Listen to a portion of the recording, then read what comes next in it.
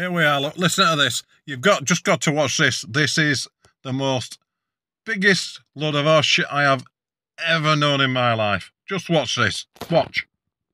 Maths is now racist. That's a bit hyperbole, isn't it? Oh, yes.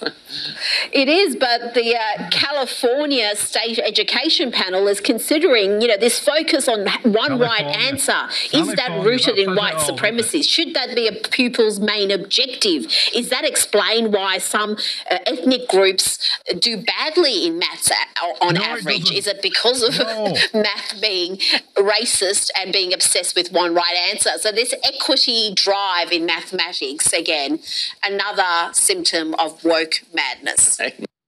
Unbelievable. And isn't that just absolutely unbelievable? When's it going to stop? Maths is racist and, and steeped in white supremacy. Okay, monkeys, catch you soon. Like, comment, subscribe.